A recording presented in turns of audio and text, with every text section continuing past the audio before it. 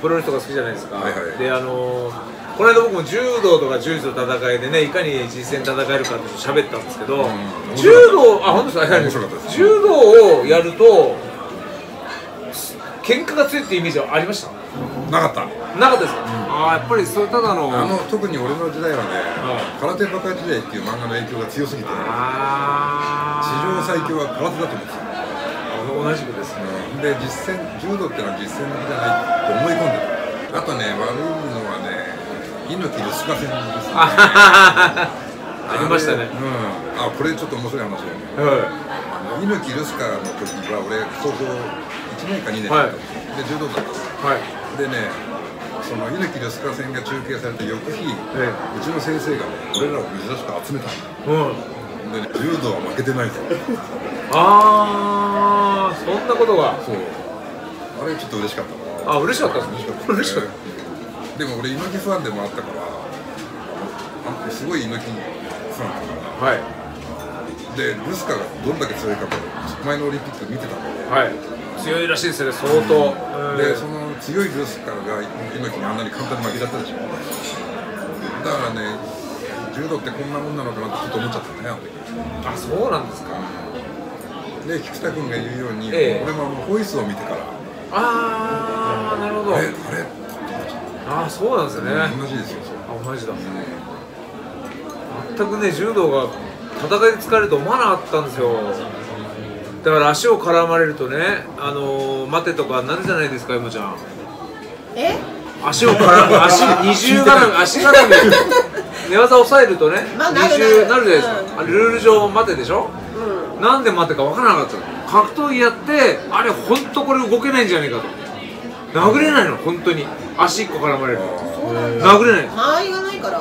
いやこれほら結局ここでもう1個固められちゃうんで体が動かないんですそこまでだから。でもこれがなければそうそう空間がないから。空間がそうそうそう。やっぱ全然違う。ね柔道すごいんですよ。本当に、まあ、今朝固めなんかでもね投げた後本当にこうボコボコにできるしさせるし そういうのもありますからね。そうやってね本当戦いのルールに近いんですよ柔道。亀除けば。ああ言ってたね 面白い意見でしたね。柔術は亀ないんですよ。亀って柔道もねあれ本当そうした方がいいと思うんですよ。すみませんどさくさに僕の今にちょっとこの間 でも面白い話だったね。ええ足をほら足を入れられたら動けないでしょ。柔道家も。亀で、そしたらあれはもう、うん、有効とかそれぐらいのポイントにししないと投げっぱなしで下になって上から乗られるってことはもうそれから1時間でも動けないですよもう。ってことはやった方がもう負けちゃうんですよ本当は。亀になった方が。はい。ボッコボコに投げられる投げられる。はい、だから亀で一番劣勢で待てっていうのがちょっと格闘技的にはおかしいなるほどね。なかったことにってことでしょ。だからあれをちゃんとやればかき逃げはなくなるんですよ、うん、もうあの体勢になっちゃったらもう反則取らない。ち注意。だからすぐ戻んなきゃいけないキュッとキュッと。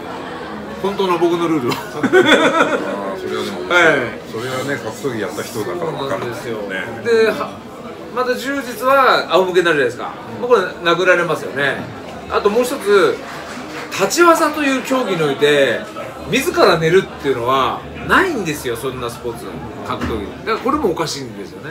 相撲でも何でも途中で始まるじゃないですかレスリングいきなり寝るっていうのはもうね格闘技としてはちょっとね。ってことはどういうことかというと寝るってことはもう行かなかったら永遠に戦いが始まらないんですよ。そんなおかしいでしょそのルールもっていうことねさすが。いえいえ、くだらないことばっかりね、そうですそうなんですよ。だからね、その柔道のルールを戦いで生かすと、ライジンでも勝てるようになるんですよ。しライジン出てって言ってるんですよ、僕いつも。まあまだまだ強いよ。まだまだ。最後見たいですね柔道家がなぜ格闘技でも通用するのかパンチがあるわけですか？なぜ通用するのかこれはもうね体力がプロだからってことも言ったんですよ。なるほど。これは大きいですよ、ねえ。なんかもうねこの芯が違うもんね。そうですよね。この芯の強さが。やったことないから分かんない。組み技系の人はやっぱすごいですよ。打撃やらしても。真剣にやる。まあ好きじゃなかったからやらなかったけど、うん、みんなそうじゃないですか？キットとかでも。レスリングとか相当すごいですよパンチあれは。いや芯じゃなくて？体の芯が強い人は組み技やってた人は本当に何やらしても強い。ですやっぱあれだね。軸だね。軸。だってあれだけねすごいバンダレーシューバとね普通に殴り合ってるんですから吉田秀彦も、そうだね。あれは普通じゃないですよそうそうその吉田秀彦に勝ってるじゃないいやそれからここにつなげまあそうですね。すごいよそれ。ええ。本当に。あの僕はねあの滝本吉田さんとやりましたけど2人とも抑え込んでますから。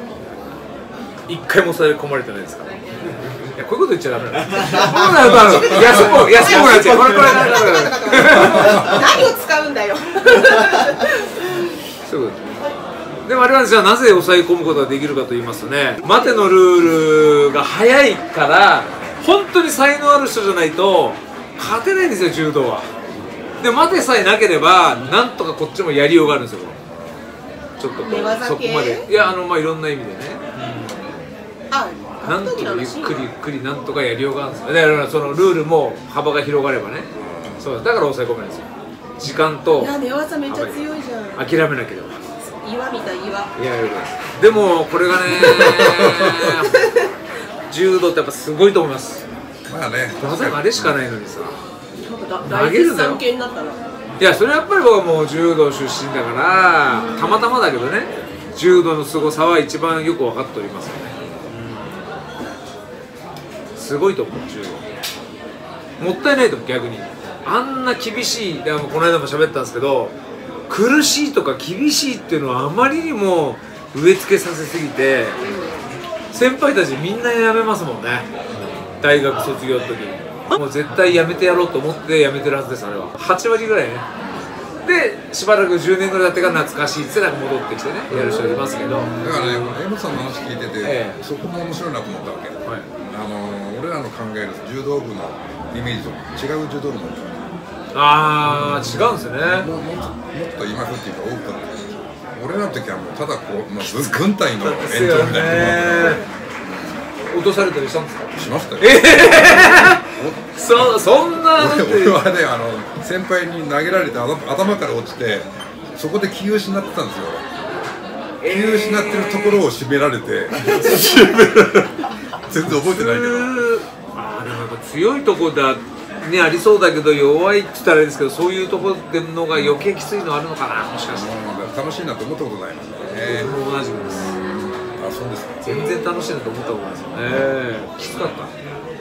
一番きつかっだからね江本さんのいろんな話聞いててなんかあこういう心がけでやればよかったんだなあそうですね。うん。中高大プロでどんどんこう楽になりましたよね。理論理論的になってきたからだんだん理論的にへそうそうそうーまたこれもカットじゃないえ？これもカットじゃない？カットカットだってダメだね。ダメだね。誤解言うからね。うんこういうこと言うとね。炎上しちゃうよめんどくさいなそうなんだよね、深い意味分かってくんないからな、本当そうなんだよ。英語ベラベラなんでしょ？ベラベラじゃないねピアノも弾くし全然。だから僕もね英語も中途半端ピアノも中途半端。全部中途半端なんですよ。本当唯一長くやったのがなぜかこの格闘技なの柔道だってだから言ってみれば7年しかやってないからね。中学高校大学途中までだから。なんちゃう。本当格闘技だけなんですよ。それまでは？え？それまあ普通にタイガージムっていうえ？なんかジャニーズに行こうと思ってた ジャニーズはほらそういう時あるじゃないですか。ちょっといや行こうっていうかまあ応募してみたって。えー、どうだったの？いや受かったんだけど、受かったんじゃない。あいやいや来来てみたいな。オーディション来てって言われて行かなきゃいけないじゃあごめんなさい。お席のはい、わかりました。ちょっと変な終わり方しちゃったんで。すね。それは、あの、昔の、ちょっと誤解ですよ、これ今の。話。いやいやいやこごめん。こはカットしていや、ちょっと、オーディション行ったの？いや、来てくださいって言われたんですけど、たまたまちょっと、よ用事があって。一次はじゃあ通ったの？一次通っちゃった。すげえだからやってたら、光源氏とかですかね。なってるのが スマップですよ、ちょ年代的にはね。いやいやいやいやいやいやはい、どうもありがとうございます。ははい。次でも、いや、本当面白かったです。ちょっと真面目な話になっちゃったんですけど、ジャニーズの話はジャニーズ昔ねだからもうそうやって表に出たかったんですよ。でそれが結局プロレスが出てきてそうなんですよ。だってねサラリーマンの人とかがプロレスをテレビ見てるの見て子供の頃こう思ってたんですよ。なんでこの人たちは応援する方じゃなくてこっちに行かないんだろう。ずーっと思ってたの子供。当たり障りない生活に行くんだろう。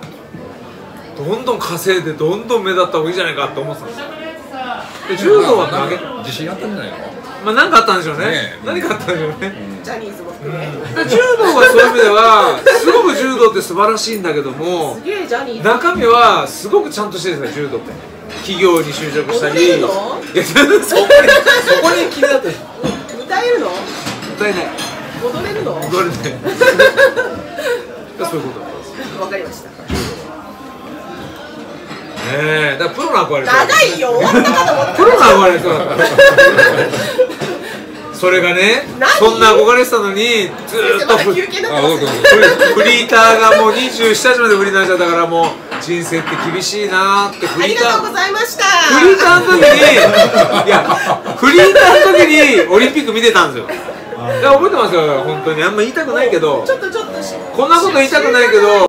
若干寂しかった。ジェラシーを感じたんですよ自分がやっぱりプロで行く年齢年代だったはずだったのよ23とか。それが僕がね結局いろんなこと言って柔道も結局柔道もまっとうじゃないプロもまっとうじゃない中でやっぱり山さんの試合見ててあーこれ一体何やってんだろうなってちょっと今日初めて言っちゃったけどね、あはい言ってたよ。言ってた。そういうのありました。いい話だいねやいやいいですだから。いい話だテレビで見てましたからああ俺何やってんだろうな。ありがとうございました。今日は。今日はありがとうございました。はいありがとうございました。どうもどうも。いやどうぞいや楽しいですね。こんなこんな風になってるからね強制終了で